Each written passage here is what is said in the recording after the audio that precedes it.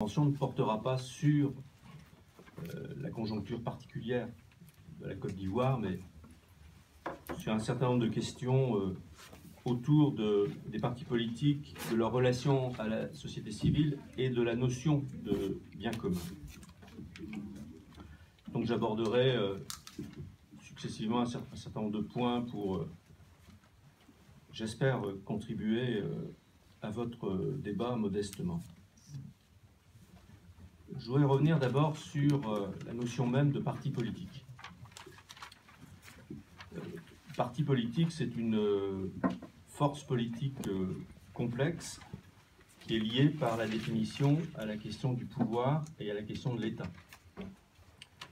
Alors, selon l'orientation politique que, que l'on a, évidemment, on peut être sur une logique de prise du pouvoir révolutionnaire, mais on va dire dans la majorité des cas aujourd'hui, on est dans le cadre de la conquête électorale et de la démocratie parlementaire. Le parti politique se veut donc un opérateur, un acteur de la démocratie représentative. Et la démocratie représentative est, est une question euh, complexe, euh, car euh, on peut considérer avec certains observateurs ou certains historiens qu'il y a aujourd'hui très peu de démocratie dans le monde. Il y a beaucoup de régimes qui se réclament de la démocratie, mais si on s'en tient à la définition stricte de la démocratie, du pouvoir du peuple, la souveraineté populaire, on voit que dans la plupart des pays, je pense notamment euh, aux pays les plus industrialisés, euh, on a plus affaire à une euh, oligarchie ou à une captation élitiste du pouvoir qu'à une démocratie. Et donc, on voit bien que la capacité d'un parti à représenter la société tient à un difficile, un difficile équilibre entre euh, sa composition, c'est-à-dire ses adhérents, le territoire sur lequel euh, il travaille et euh, l'orientation euh, politique euh, qu'il prend.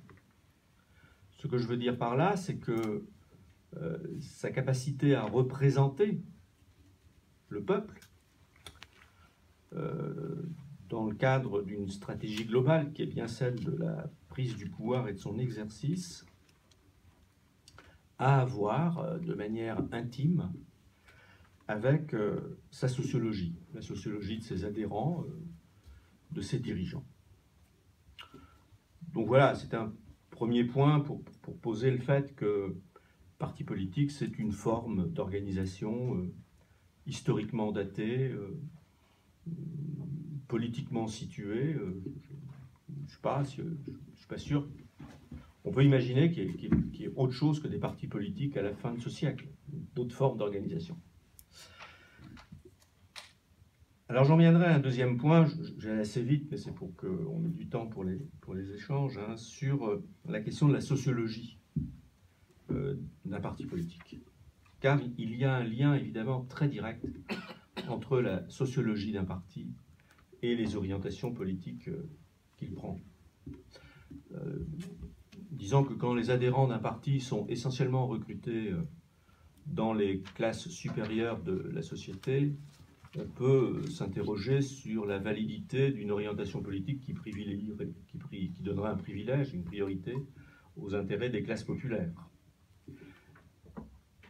Alors, je vais prendre un, cas bien connu qui a été aujourd'hui euh, documenté, euh, qui est celui du Parti socialiste en France, qui a fait l'objet d'un certain nombre d'études de sociologie euh, de ses adhérents et de ses, militants, pour voir en quoi la sociologie éclaire quand même un certain nombre de, questions. Euh, quand on voit le Parti socialiste, on se rend compte que d'abord, il, il, y a trois phénomènes majeurs. Le premier phénomène, c'est un déclin très fort de la présence dans ses rangs de personnes issues des classes populaires. C'est un parti de classe moyenne, du service public, de classe moyenne supérieure, euh, de... mais très peu d'ouvriers et d'employés dans les faits. Ça, c'est le premier point. Le deuxième point, c'est que le phénomène de professionnalisation a fait que les cadres du parti sont très peu issus de fait de la société civile. Ils sont issus de, Sciences Po.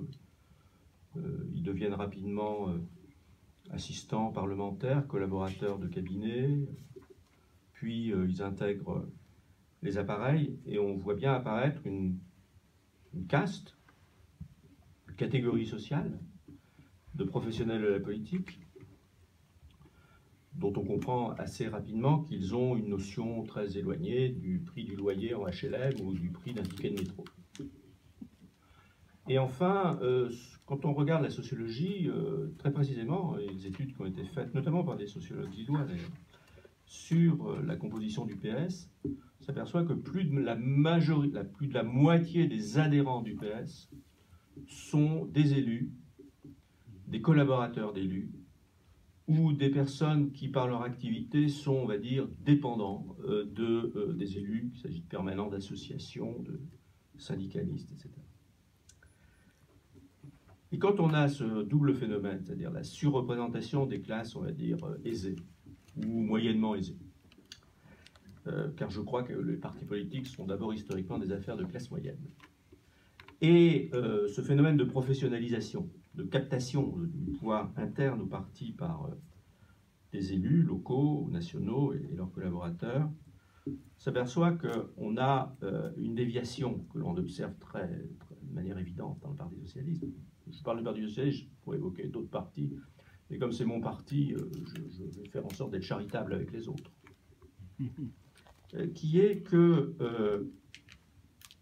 le parti dans un premier temps, a été une école d'éducation populaire, de mobilisation des masses, puis il est devenu une machine électorale, et il devient de plus en plus une machinerie de sélection des candidats, où, en quelque sorte, les convictions politiques euh, sont indexées euh, aux chances plus ou moins grandes d'obtenir une investiture. Et pour la faire courte, puisqu'on est samedi après-midi, disons que les résultats sont médiocres sur le long terme. C'est-à-dire qu'on a d'une part un parti qui quelque part se coupe des mouvements culturels profonds de la société, notamment de la jeunesse. Il ne comprend pas la jeunesse. Euh, et la jeunesse ne les calcule pas, comme on dit, c'est-à-dire ne s'y intéresse pas. Et euh, deuxièmement, évidemment, une coupure aussi par rapport aux aspirations des classes populaires, puisque quelque part le parti devient un objet non pas à représenter le peuple, mais à répartir les places de ses cadres dirigeants. Alors ça peut s'appeler une investiture, euh, un congrès, ça peut s'appeler un remaniement. Euh, mais tout ça est assez anecdotique et montre que à ce moment-là, euh, la capacité d'un parti de transformer la société est anéantie. Que donc la question qui se pose, est-ce que vous voulez faire un parti qui transforme la société ou est-ce que vous voulez faire un club pour vous répartir des postes? Le, Contrairement aux apparences, ce n'est pas exactement la même chose. J'en viendrai donc au, troisième point qui est euh, comment euh, les partis politiques peuvent s'agencer, s'organiser, se, dialoguer avec euh, ce qu'on appelle la société civile. Parce qu'évidemment, le parti politique n'est pas le tout de la société politique. Parti politique, syndicats, ONG, associations, monde économique, comité d'habitants, groupe de quartier, associations professionnelles, tout ça constitue quelque part, au sens large, la société politique. Et évidemment, un parti ne peut pas arriver au pouvoir sans euh, construire, je dirais, une sorte d'écosystème, de, de, de, milieu favorable au dialogue avec d'autres forces qui ne sont pas des partis, mais qui vont contribuer évidemment à euh, sa victoire ou à sa défaite. Et on voit qu'historiquement, la relation avec la société civile d'un parti euh, est euh, on observe les choses de trois types essentiellement. Et les trois types peuvent se combiner. Dans la société civile, vous avez quoi? Vous avez le monde économique, vous avez le monde de la culture, vous avez le monde associatif, l'engagement citoyen, pour aller vite. Alors le premier cas de relation avec la société civile, c'est quand un parti va euh, tirer ses ressources essentiellement du financement, euh, son financement des forces économiques. regardez la liste des donateurs de Hillary Clinton, de Bernie Sanders, de Ted Cruz ou euh, de, comment s'appelle le, dingue là, euh, Donald Trump. Et euh, quand vous regardez la liste des donateurs, vous avez une idée assez précise de l'orientation politique. C'est-à-dire, vous voyez, Bernie Sanders, il est financé essentiellement par les unions syndicales de travailleurs et Hillary Clinton est financée d'abord par Goldman Sachs. Donc, euh, et les, républicains, on voit bien le rapport avec les lobbies pétroliers, etc. C'est une première relation qui est très importante. Euh, parce que, évidemment, euh, on ne peut pas imaginer un instant que le financement soit totalement indépendant de l'orientation politique. Principe de réalité. Ça, c'est le premier lien. On va dire, c'est la construction américaine de, le deuxième, euh, deuxième type de relation, c'est le modèle social-démocrate, c'est-à-dire qu'on va construire une alliance entre le parti, on va dire le mouvement syndical au sens très large du terme, c'est la social-démocratie.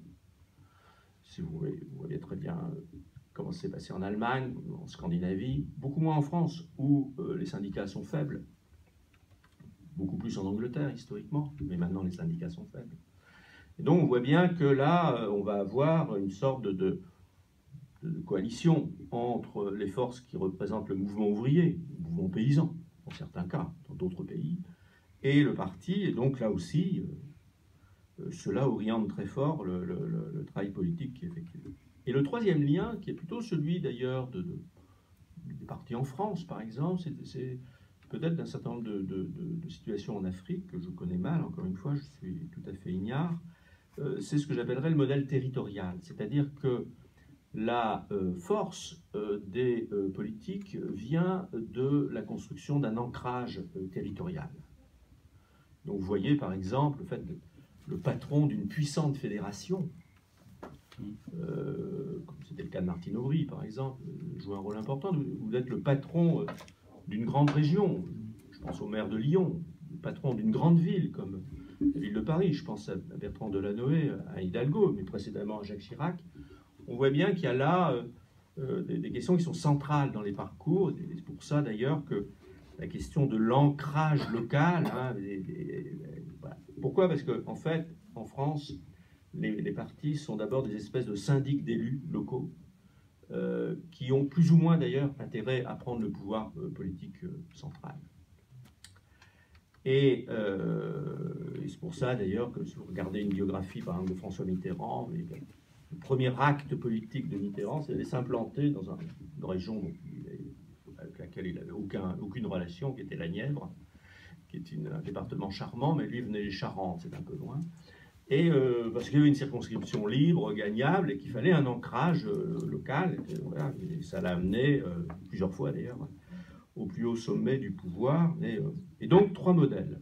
Le modèle de la de relation avec le monde économique, le modèle on va dire de type social-démocrate, et euh, le modèle territorial, où d'ailleurs, dans ces cas-là, la question des associations locales va jouer, un, rôle important, parce que qu'est-ce qui fait l'élection finalement?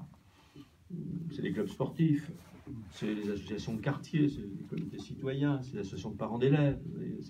C'est ça qui fait que euh, le, travail d'un élu consiste à assister euh, sur tous les week-ends à toutes les manifestations. On peut, on peut serrer des mains, discuter avec des gens un travail d'implantation qui est extrêmement euh, important, un peu difficile d'ailleurs, mais qui est, extrêmement important.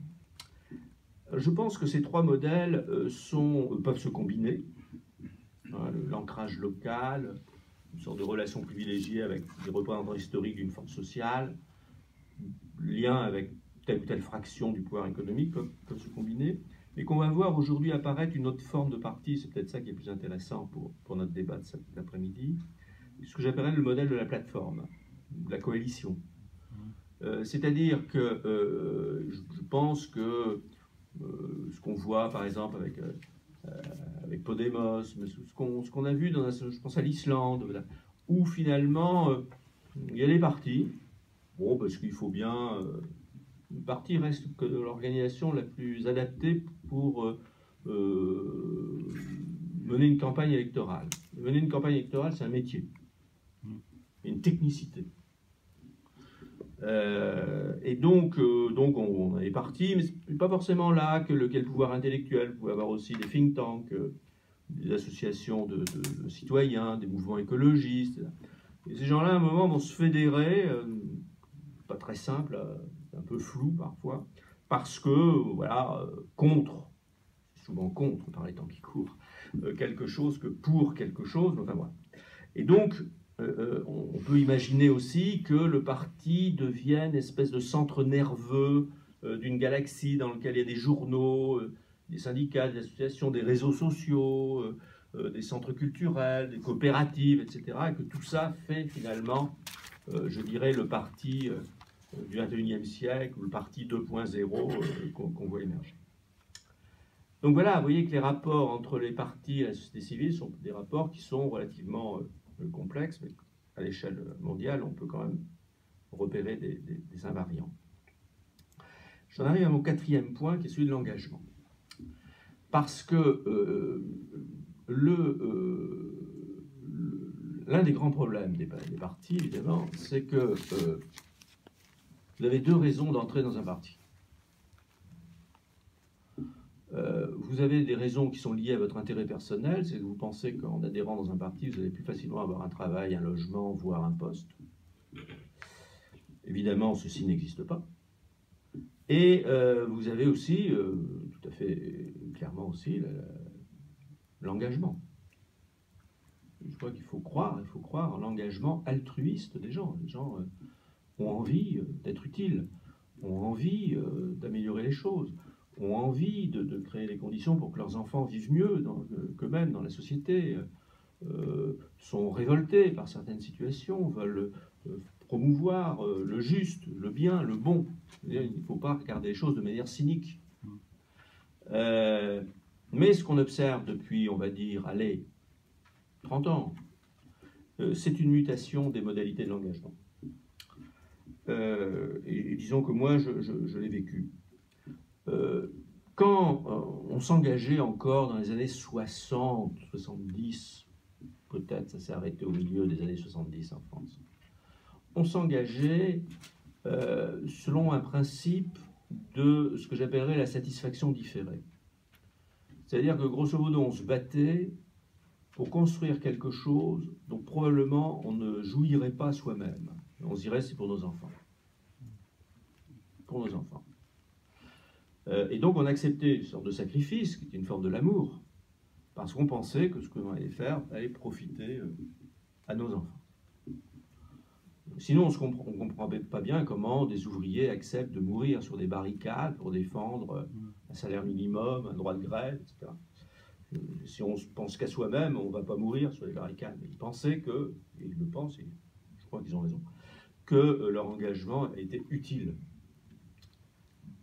C'est-à-dire que euh, l'engagement, c'est un engagement pour une vie, et qui était fondé sur une croyance d'un futur qui serait meilleur, ce qu'on appelle un grand récit.